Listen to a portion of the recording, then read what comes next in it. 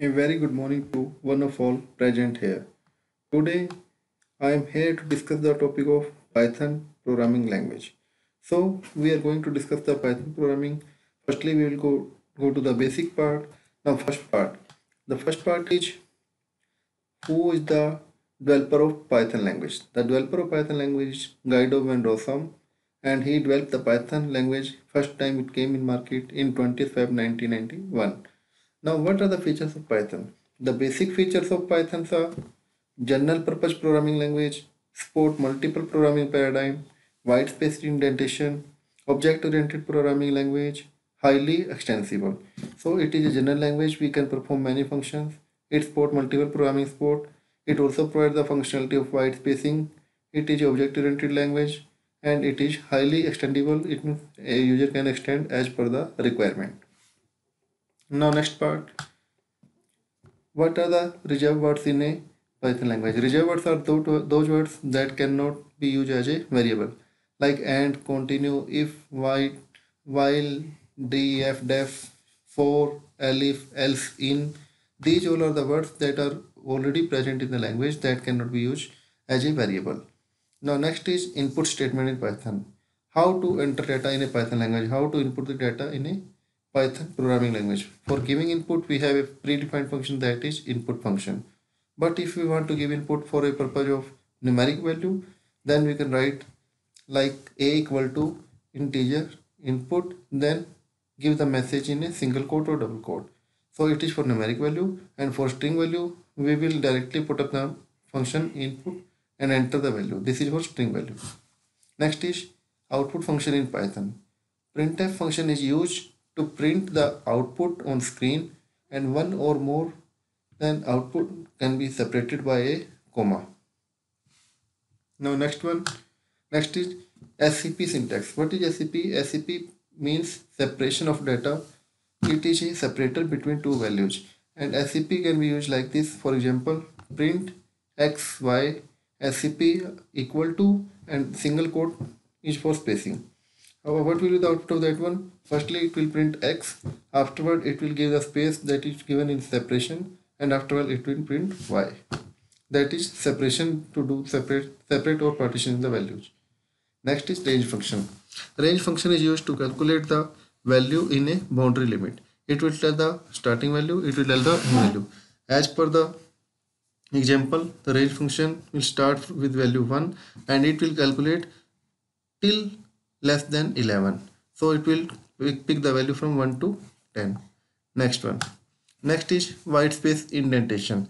It is used to separate or give space between data. Suppose we want to print the statement Montfort World School. So what we can do we can make it by two methods. First method firstly we will directly write print Montfort then separate word is world third word is school and afterward we are giving separation operator and in separation we are giving some space. And second method is we can directly print in print statement Montfort World School. These are two methods for giving the white spaces next one is conditional. What is conditional operation? Conditional operations or conditional statements are those statements that are used to define the condition. For example we want to give one condition we have only if statement. For two condition we are having if else statement. And for third one we are having if else if else statement that then we are having more than two statements. Now syntax of each condition is given below. First syntax for if statement. Firstly we will write if then we will give the condition part. After we print the statement.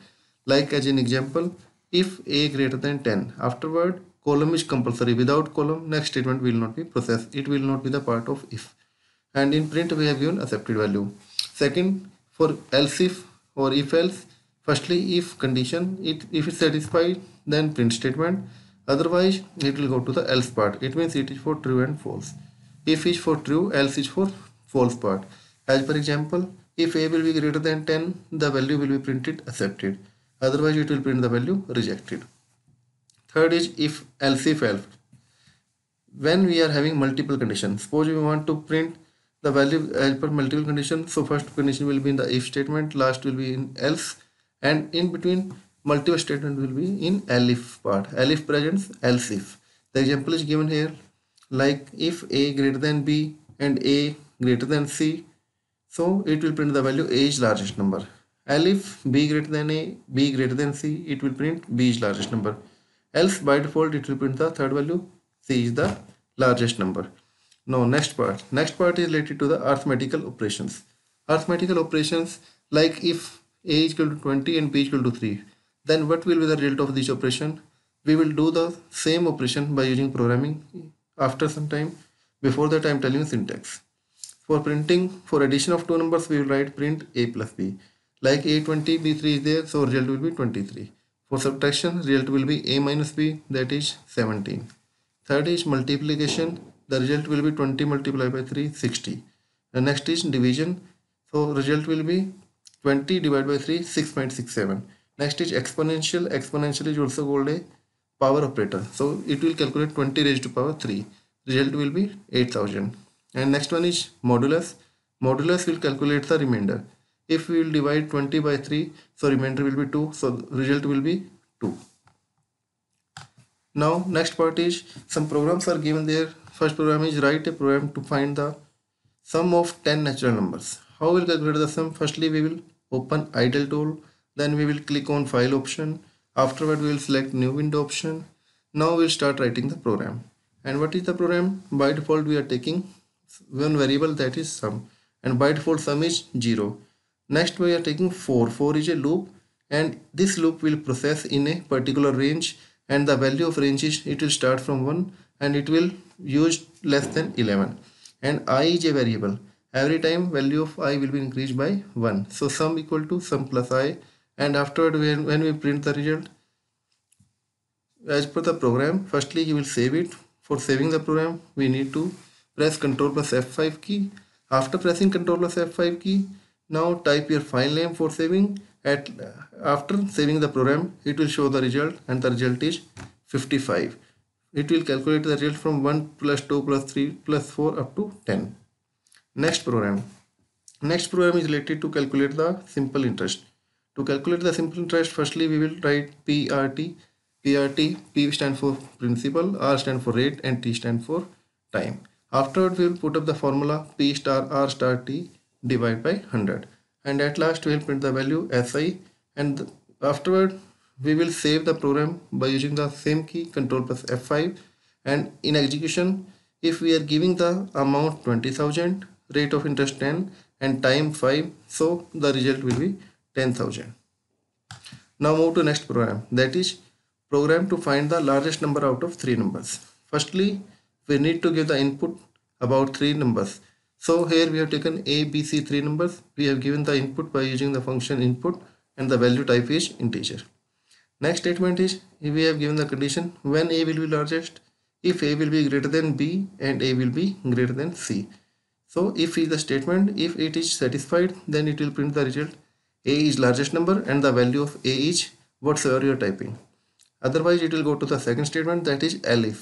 Elif will check the value for b when b will be largest. If b is greater than a and b is greater than c then the result will be print b is largest number and the value is whatsoever you are giving. Otherwise if a is not largest in second case b is not largest so by default c will be largest so result will be c is the largest number and the value is whatsoever we are using for c. As per the given example, output is also given. Suppose we have taken the value A 548, C B 625 and C 145. So result will be B is the largest number and the value is 625. Next is write a program to calculate the table of any number using for and while loop. By using both loop we can print the table of any number. For printing the table firstly we need the number. So we are giving the number in C.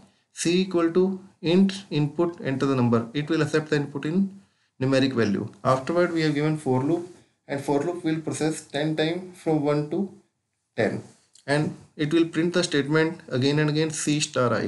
Firstly suppose we are taking the number 14 so it will print the result 14 1 ja 14 2 ja 14 3 ja up to 14 10 ja and the result will be 14 to 140 using for loop we have done this one. Now next loop is using while loop. While loop is same as for loop. The difference is only one in while loop.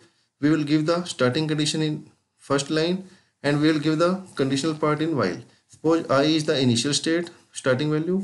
Afterward we are given the number. In while we have given the condition.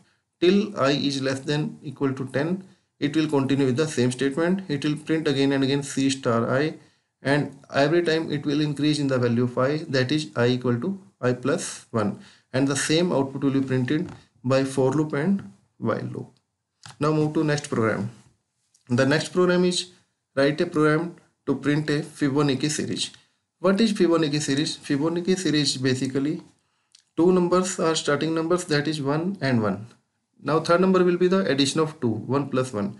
Fourth number will be the addition of second and third. Fifth number the addition of third and fourth. It means previous two number will be added and result will be calculated. So it can be done by using this programming. Firstly we are giving two numbers A and B and by default initial two number value is 1 and 1 afterward we have taken one variable i equal to 2 afterward because numbers are fixed firstly we have printed the value of a and b now for printing the third number to 10 number what we have done we have written the condition while a less than 10 it will continue with the these five statements. Now first statement is next equal to a plus b.